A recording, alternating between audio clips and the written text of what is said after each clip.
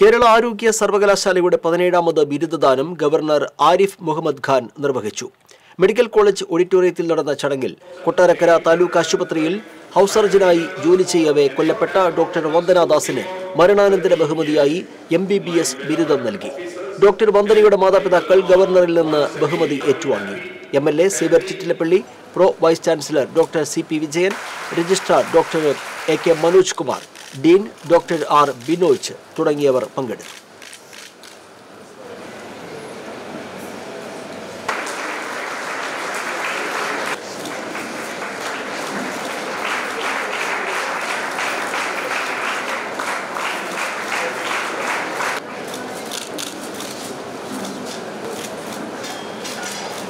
Gracias.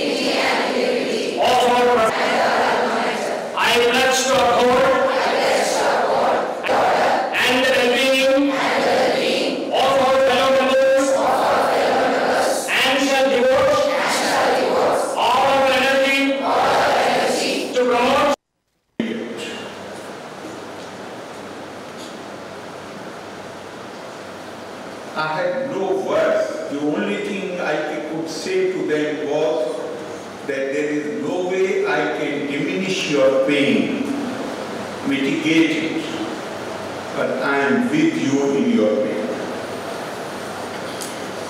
And the parents are so brave.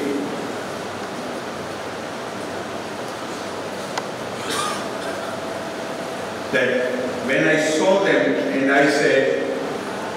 that all these, those who are graduating today because Dr. Vandana has also been posthumously granted the degree.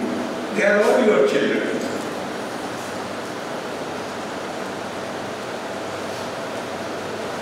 Then they smiled. Yes, they are our children.